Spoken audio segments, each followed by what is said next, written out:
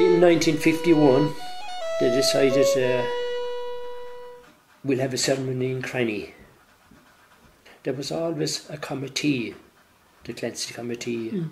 in Cranny, and the, only thing was they'd have a mass every November for the anniversary. Mm. And uh, the, the, the, in 1950, they decided they'd have a, a parade, uh, uh, unveil unveil the, the, the portrait of Clancy in the school. By the way, it was painted by um, the son of a Curra Clareman, was Clareman was Marnin. Yeah, but anyhow, my interest. So a lot of people came to that, didn't they, in I was there because I was a young fella and I had Yeah. heard the Clancy and you see uh, visiting the relations in Cranny and I cycled up there and I was anxious to see this thing, see who this fella was- Clancy was yeah. like, like. So and we went up and lo and behold, the, the old IRA had a march, carried out an inspection, and uh, well, this, I think that was it. You file in, didn't have a look at, uh, and uh, oh yeah, they finished off with a football match the same evening down Yeah. in Killy's Field. The man that organised it, I think, it was a fellow by the name of uh, um, Allo, Captain Allo McMahon at the time. He was a native of Cranny. Then we, uh, it became known that uh, they were going to erect, uh, erect a monument to his memory, and that the money was collected in the States, uh, and the man in charge of it was a, a Mr. McGovern.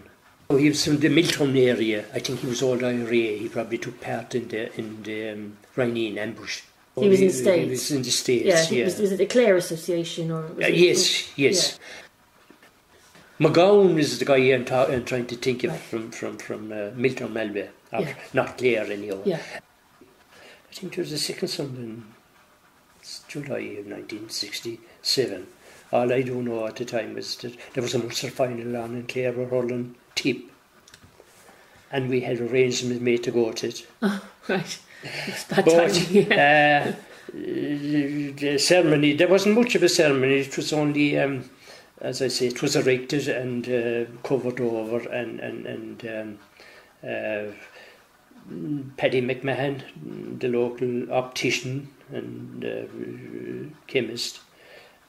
At the time, was he at the time? No, he had left the FCA at the time. He was a captain in the FCA he was kind of MC or uh, organize, uh, MC like yeah. They all the old IR, there was about a hundred of them, you know, of those people uh, from uh, Coolmeen, Kildysart or Labasheeda, you see, and they all farmed up in trees up the road here um, and uh, marched down and stood beside it and um, uh, McGowan gave the history of Clancy horse and, and, and uh, unveiled mm, yeah. the, the, the, the, the monument and um, more or less that was it. There was uh, Dan Green, of course, he was involved in it as well. The local, he was the, he was a Coolmeen man Cranny as well. He was uh, the local county councillor. Hmm. So more or less that was it. Um, the, the, um, as I say, um, Captain or um, Frank Taylor, the uh, later TD, then was uh, uh, that particular year was was um, and before, just before uh, was was um, OC of the Kilrush Battalion of the FCA. And uh, he called me up and he said, Look at, uh, I'll be over, he says, you'll be available. And uh, Sonny McMahon, Clun, Clun, uh, Knock. And uh, we were represented, um, uh, Taylor was the captain, and I was the lieutenant, young lieutenant at the time, and so was McMahon, and uh, we were we were there. Uh, representing the army was a fellow by the name of Captain Peter Daly he succeeded McMahon, this Alan McMahon, in Kilrush. Mm. So he was there as well. yeah. So it was all done with it. I, I, maybe they went for drinks afterwards and he, I went off to the Munster final.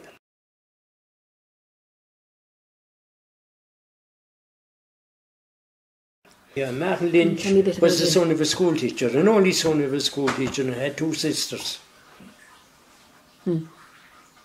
In, Coo- in Coolmeen. in Coolmeen, yes, down near the church there. Little is kind of known about him, only that he went to Dublin, you see. And uh, now we have discovered late, uh, since from his grandnephew that uh, he was in Moore Street. We do know that he, he made it out of the GPO onto Moore Street for the surrender. And he was in one of those two houses, you know, that have uh, that's in Moore Plum Street, that's yeah, questionable now again. Yeah. And um, the guy that went through the hole in the wall was O'Reilly, the Kerryman, and he got shot. And he, he died the following day. So they found him, yeah, yeah, yeah. But uh, Lynch burst out after him, and whether it was a sniper or not, reloading, didn't he make it across and vanished? I t- don't think he, he was even he was even picked up in the sweep afterwards. Now, the next place he surfaced again was 1917 18 after the, the, the, the truce. Um, he was a Free State officer and uh, still in Dublin. Or, um, uh, and the next thing, when the Guards in 1923 24, is it, he joined the Guards. Or he helped to join, he helped to uh, initiate the Guards with uh, General Brennan. And uh, Right. and he subsequently became a superintendent and he served in the Midlands, including Wexford. He died as chief superintendent. Uh, Well, he was retired in Wexford. In Wexford.